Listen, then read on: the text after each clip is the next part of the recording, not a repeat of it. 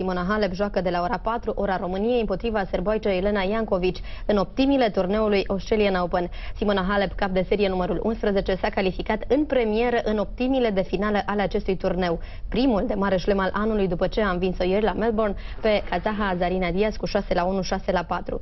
Simona a fost felicitată și de premierul Victor Ponta. Suntem mândri de tine și îți ținem pumnii pentru meciul din optim contra Elena Iancovici, a scris premierul pe pagina sa de Facebook.